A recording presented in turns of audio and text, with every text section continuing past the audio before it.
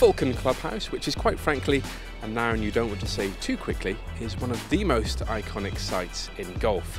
It towers impressively over the par 5 18th here in Abu Dhabi, a hole where earlier in the week I caught up with a young man notching up his 101st event on the European Tour.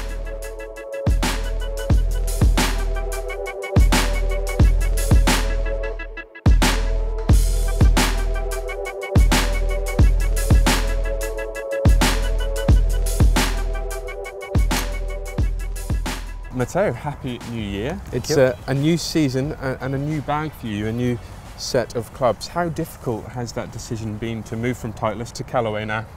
Yeah, it's been, um, it's not been easy for sure. I've had a long and, and successful and, and really nice relation with uh, with Titleist. Um, I wanted I wanted to find something new, to try something new, and um, definitely Callaway gave me give me something something really good that I've got now in the bag.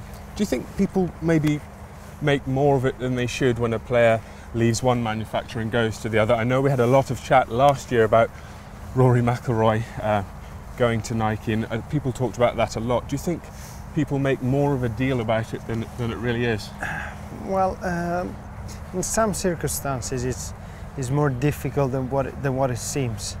Um, but in general, manufacturers these days make great clubs, make great balls.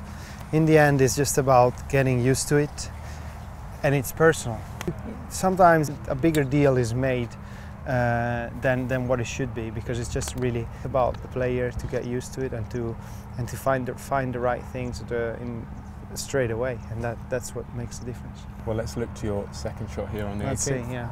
I think we're just down on the left in the semi-rough.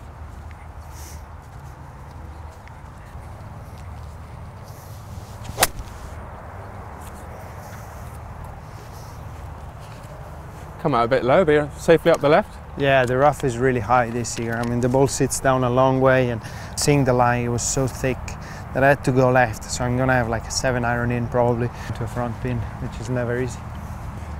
You finished 11th on the race to Dubai last year. Your best finish so far. You won the flagship European Tour event last year, Wentworth.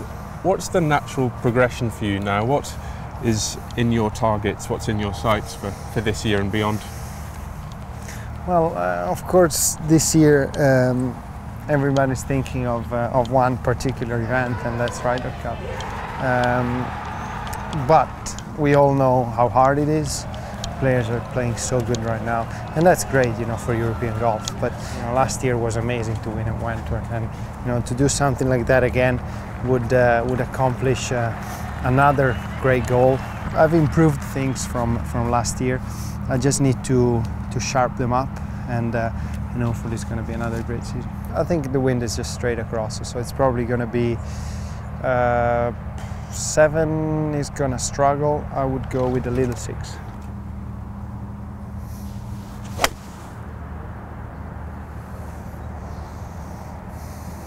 Yeah, I think the distance was pretty good. I just left it a little right and the wind took it even more right. So that's you know, the difficulty sometimes of uh, having being protected from the wind. Yeah. You have to trust it so much and you really have to start left to make it come back. You've played, I suppose, roughly a dozen majors now. Which of the four majors do you think presents your, your best immediate chance for, for success in the near future? I would say for uh, for my kind of game, um, probably the Open and um, and the U.S. Open are the two that might suit me the most. Um, I would say links golf uh, and the, the, the, toughness in most of the U.S. Open courses. I think those could be the the two best uh, possibilities for me. I'll take any. I bet you would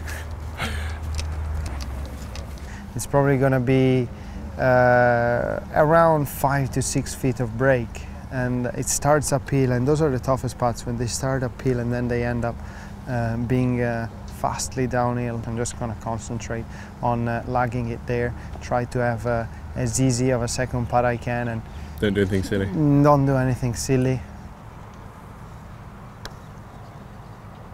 It's Out there if it's up. See, A too little short. bit shy.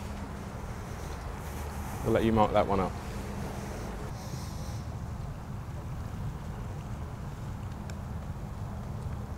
Yeah, nicely done. Two, Thank you, a Tom. nice five at the end. No damage done. Thank you for your time. Thank you very much. Have a great week. Thanks. A great season. Thank you. Thanks a lot.